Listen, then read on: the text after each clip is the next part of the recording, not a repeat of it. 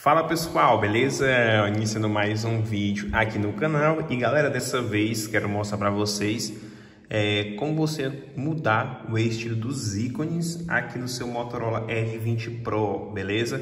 Estão, é, o aparelho está com esses ícones arredondados. Nesse vídeo vamos alterar aí para um novo estilo de ícones, ok? Onde você vai estar escolhendo aí vai ter opções com vários ícones para você escolher conforme o seu gosto. Então, nesse vídeo, quero mostrar para vocês como você está alterando, beleza? Vamos começar.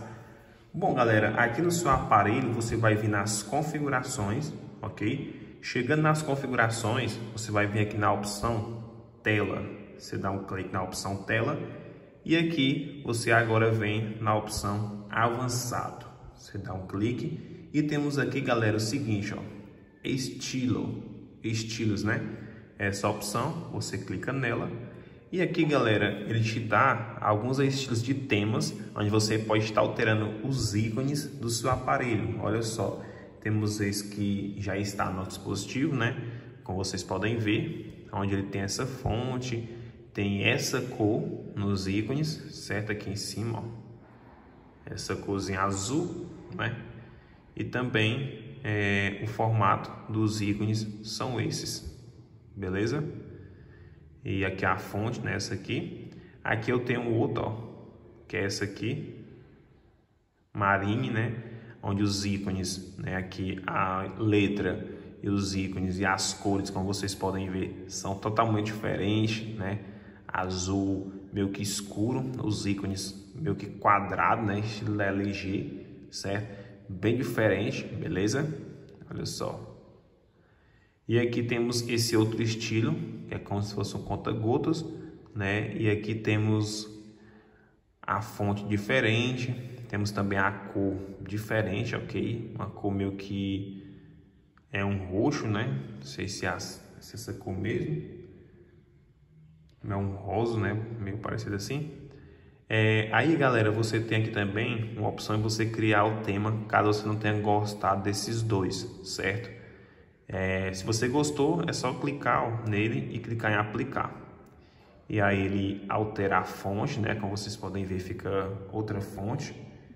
Também a cor, certo? E os ícones também muda, beleza? Ó, vocês podem ver, ele muda totalmente os ícones aqui do dispositivo, certo? Agora tá com os ícones quadrados, ok? E é bem simples, galera. É só basicamente isso você escolher, ó. Até nas configurações também muda, né? Os ícones aqui, beleza? Vou voltar aqui de novo, tela, avançado, estilo. Eu vou criar um tema, certo, pessoal? Com os ícones é, diferentes. Eu vou clicar em tema. Aqui no primeiro é a fonte, eu posso estar escolhendo aqui a fonte. Se eu não quiser alterar a fonte, eu posso escolher a mesma que já tinha no meu smartphone, ó, a padrão. Então, vou só avançar. Aqui eu tenho as cores, certo? Posso escolher essa, qualquer cor aqui. Eu vou escolher essa a verde, vou avançar. E aqui eu tenho o formato dos ícones. Eu tenho esse que já estava no meu dispositivo.